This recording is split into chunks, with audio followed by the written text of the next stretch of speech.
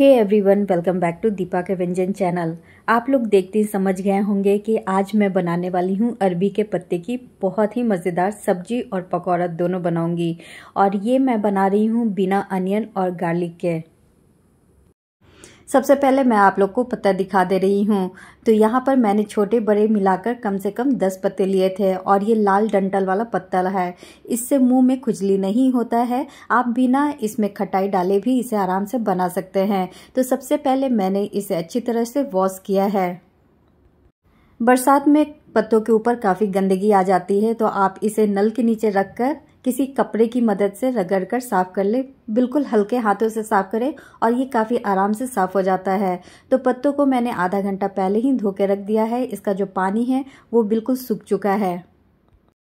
अब मैं आप लोग को मसाला दिखा दे रही हूँ। तो यहाँ पर मैंने दो चम्मच लिया है, दोनों मिक्स करके सरसों। आप कोई एक सरसों भी ले सकते हैं, साथ में लिया है चार हरी मिर्च, आधी छोटी चम्मच काली मिर्च और एक चम्मच जीरा। साथ में एक छोटा तेजपत्ता भी डाला है। मसालों में पानी डालें और इसका एक फाइन पेस्ट तैयार कर लें। यदि आप लहसुन वाला सब्ज़ी बनाना चाह रहे हैं तो इसमें 10 से 12 कलियाँ लहसुन का डाल दें, मसालों के साथ उसका भी एक पेस्ट तैयार कर लें। मसालों को मैंने निकालकर एक अलग बर्तन में रख दिया है। मसालों को पीसने के बाद सेम मिक्सी जार में मैं डाल रही हूँ फुला हुआ चावल। चावल को मैंने सुबह में ही फुला के रख दिया था तो ये अच्छी तरह से सूख हो गया है। इसका भी एक फाइन पेस्ट तैयार कर लेंगे और डाल देंगे मसालों के साथ। मसालों के साथ अच्छी तरह से मिक्स किया है। अब मैं इसमें डाल रही हूँ एक बड़ा चम्मच, अमचूर पाउडर और आधी छोटी चम्मच हल्दी पाउडर। थोड़ा सा मैंने इसमें तिल डाला है और एक चुटकी हींग। मसालों को अच्छी तरह से पहले मैंने मिक्स किया है। अब मैं इसे दो भाग में बांट रही हूँ। तो मैंने एक इसे प्लेट में रख दिया है और एक मैं बाउल में रख रही हूँ। तो इस मसालों का यूज़ मैं ग्रेवी के लिए करूँगी और जो यहाँ पे मसाला है, इसमें मैं डाल रही हूँ तीन बड़ा चम्मच बेसन। बेसन को अच्छी तरह से मैंने मिक्स किया है मसालों के साथ। अब इसमें डालेंगे नमक स्वाद अनुसार। नमक के बाद मुझे थोड़ा हल्दी और अमचूर पाउडर कम लग रहा था तो मैंने दोनों एक एक चम्मच बढ़ा के डाला है।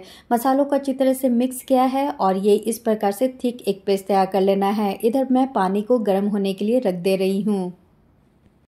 पत्ते के ऊपर जो हार्ड स्टेम है, उसे भी चाकू की मदद से आराम से आप निकाल सकते हैं। इसे निकालने के बाद पत्तों को तैयार कर ले और ये काफ़ी आराम से निकल जाता है। इसे निकालने का एक फ़ायदा ये है कि आप जब रोल करेंगे तो ये काफ़ी आराम से रोल होगा और दूसरा, जब आप मसालों को स्प्रेड करेंगे तो मसाले इवनली चारों तरफ़ स्प्रेड हो जाएगा।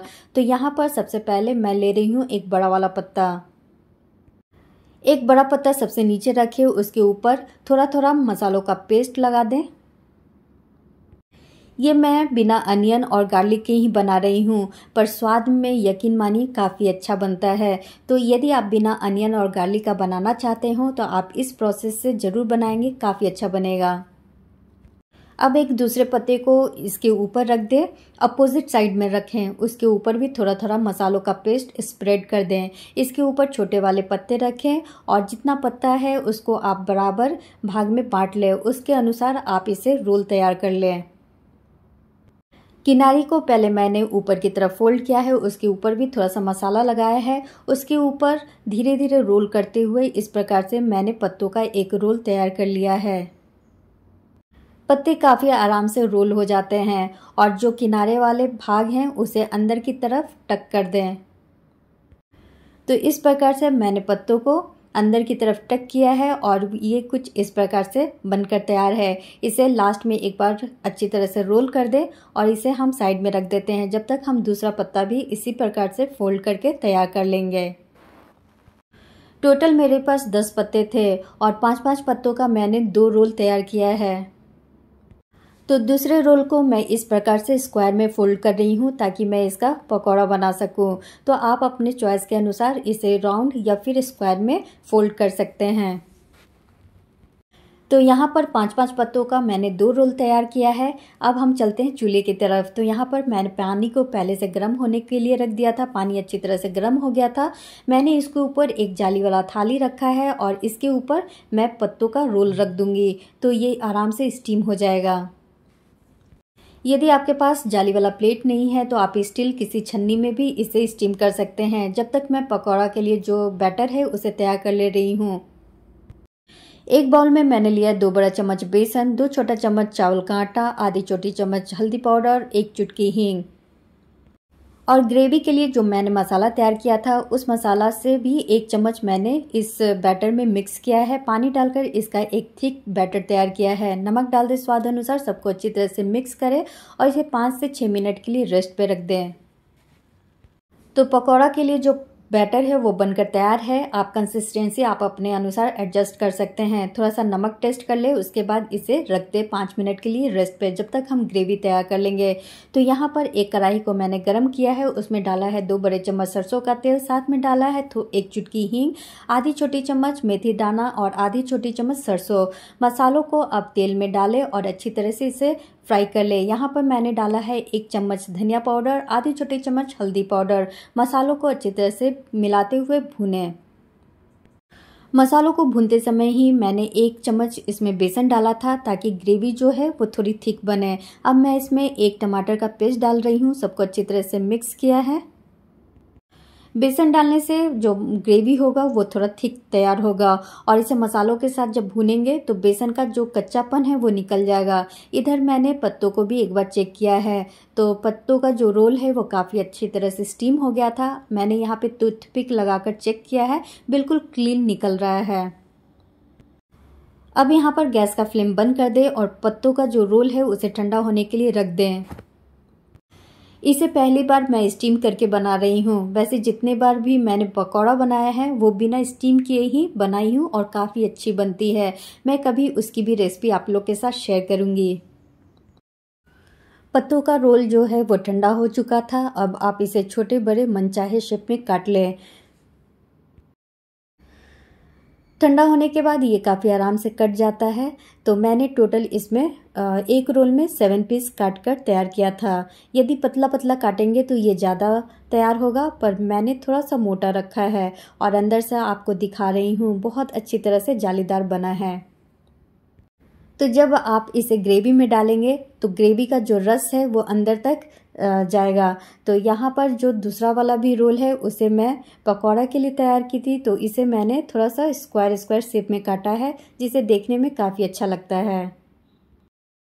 तो ऑलमोस्ट सारी तैयारियाँ हो गई हैं और इधर ग्रेवी भी तैयार हो गया था। ग्रेवी से काफ़ी अच्छी खुशबू आ रही थी और ये काफ़ी अच्छी तरह से भून गया था। अब मैंने इसमें थोड़ा सा गर्म पानी डाला है और इसे अच्छी तरह से मिक्स किया है। इसे जितना अच्छी तरह से मिक्स करेंगे, जो ग्रेवी होगा, वो बिल्कुल स्मूथ तैयार होगा। तो अब मैं इसमें कवर लगाकर इसे बॉयल आने तक कुक करूँगी। गैस का फ्लेम मैंने लो टू मीडियम रखा था।